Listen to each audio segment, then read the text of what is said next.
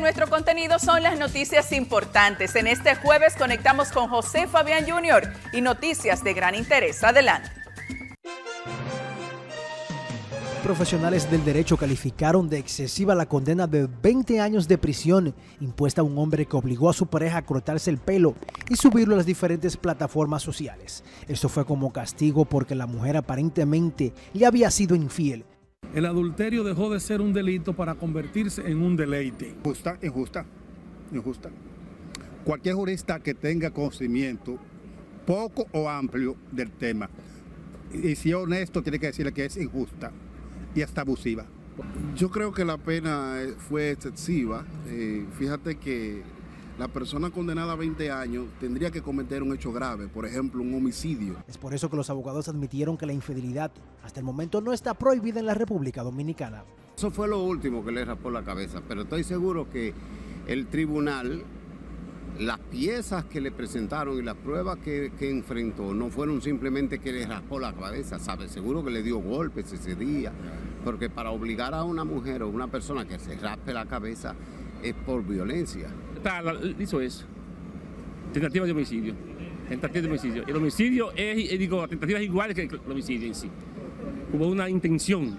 Déjame pelarte, desgraciado, para no matarte. No hay pena por la infidelidad ni femenina ni masculina.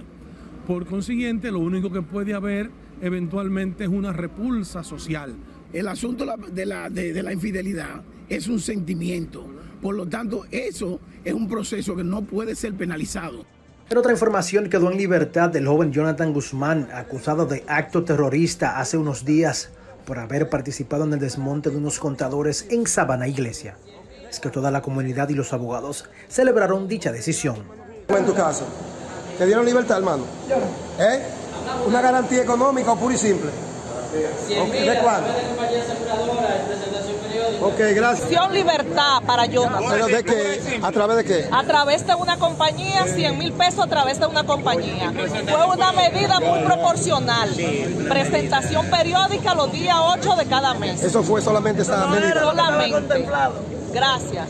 Él no lo está premiando con esa imposición de medidas y que no es que él iba a dar eh, libertad, que al momento de la eh, compañía de de electricidad eh, de Norte desistió de la acusación, el juez dijo que le iba a dar la oportunidad de no privarlo de su libertad.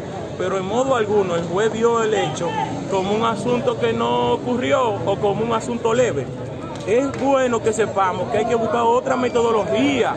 Recordemos que la distribuidora de energía de electricidad del norte de Norte retiró la querella contra Jonathan Guzmán, imputado por presuntamente haber desprendido contadores de esa institución.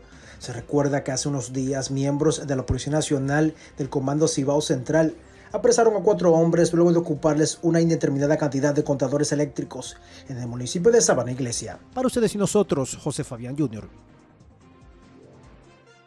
Son las 12 del mediodía y veo la televisión. De pronto sale en el 29 mi gran amigo Fabián, que comienza a Fabián gozando y diciendo, señores, esta es la alegría del mediodía.